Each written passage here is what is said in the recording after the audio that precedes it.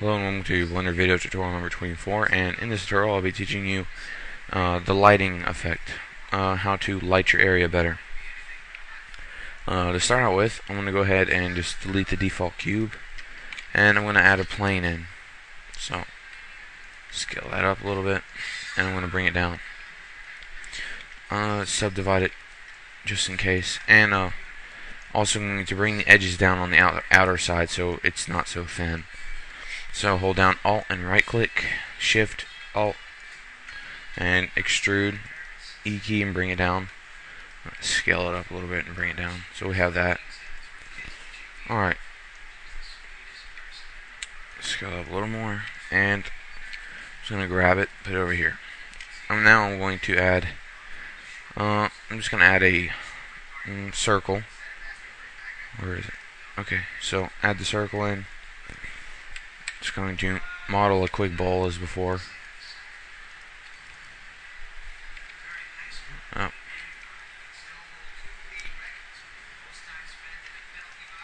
There we go.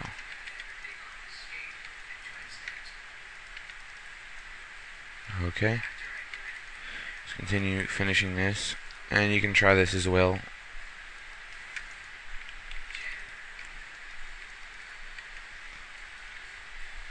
remove the doubles. Alright, I'm going to set it to smooth. And add a subsurf modifier. Alright, now I'm going to bring it down to our plane. And also with our plane I'm going to go back to edit mode. I'm just gonna I want to make this a little taller too. Okay there we go. Just kind of make sure it doesn't go through the bottom here just a little bit to know that you're touching. Alright, in edit mode with our plane, I'm going to select everything and hit the W key. And I'm going to hit the B Bevel. Okay, except one, and just bring it in a little bit. Alright, and you just sharpen the edges a little bit. So, now you can set to smooth and add subsurf without having to worry about uh, knife cutting to round the corners off better. So, I'm going to go to camera view Actually, I, want, I need to move back a little bit, so let's go to top view, hit the G key, and and so that our camera is looking perfectly at this, just select your camera, shift select your ball, and then hit control or uh, control T, track to constraint, and now your camera will look directly at the center of this object, which we need to center new it. Center new your object, just hit center new with your uh, tool selected and edit buttons and that should center your uh, uh, your arrows into the center of this. So there you have it. No matter where the camera goes it'll always be tracking this object. Alright. So now you can bring it back and don't worry about you don't have to worry about uh, losing track of this. Alright so to begin our lighting uh, we can go ahead and render this and see how it looks now with just a simple light, simple lamp. Alright, but we notice that uh, it's not, it doesn't look very real because the, the shade is just so dark. We don't need it this dark. If it's this dark, it looks almost like a hole or something. It's just, uh, real life, you don't see a shadow this uh, outline. So, to get rid of this, uh, normal setup, you normally would have two lamps next to your camera on both sides. And this is just for still uh, still imaging, so don't worry about animation. Two lamps on each side. And I'm going to select the first lamp, go to the Materials tab, and hit the light. Uh, I'm going to turn down the energy just a little bit, just a little too bright, and turn down the distance to about 20. Select the same, the next one, do the same, bring, it, bring the energy down, so the distance to about 20. Alright, now if you look, we'll get the shadow, but it's not going to be so uh, harsh.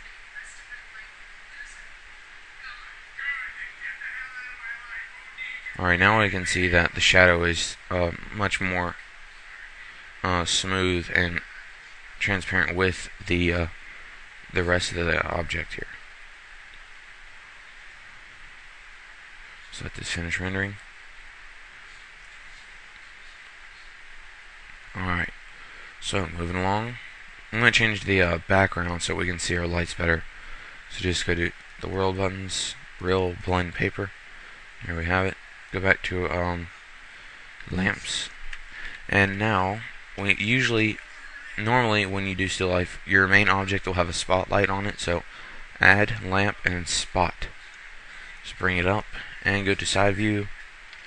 I want to put it from this side. Just hit the R key to rotate and I want to turn this uh, select the lamp and you go to the lamp buttons once again and instead of being so white I'm going to just bring it down to a little grayer and just set the energy down too much energy with too much white light just kind of destroys the shadows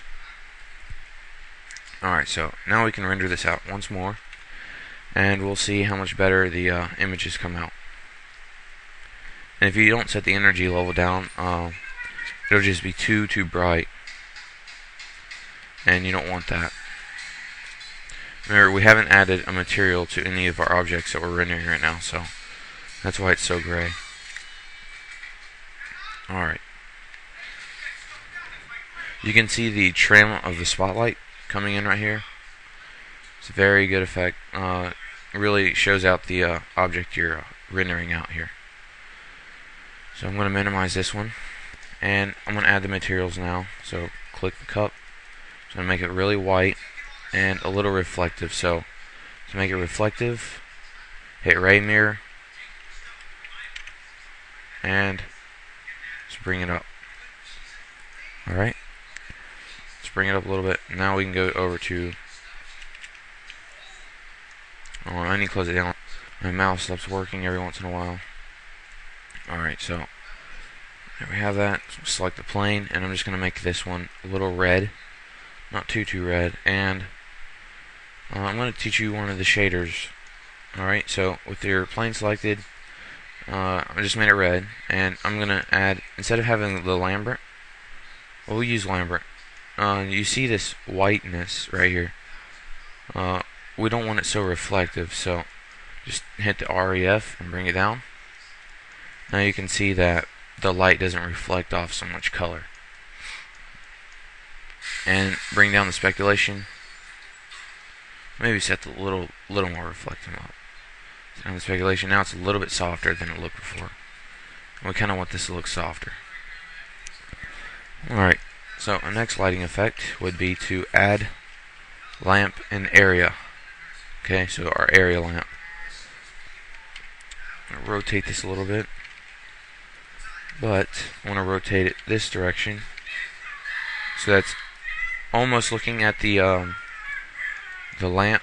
So our camera is almost looking at the same area as the direction of this light but this will just get rid of the two shadows from these two lamps.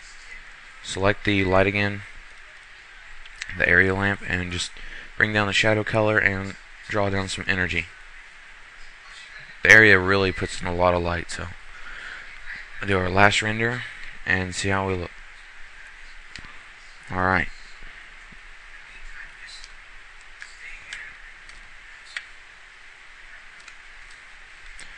Now we can really tell that our, our shadows are much, much softer.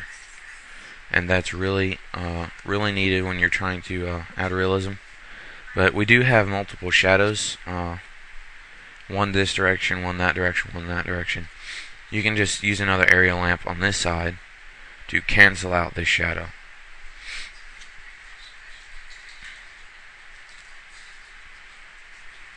Alright.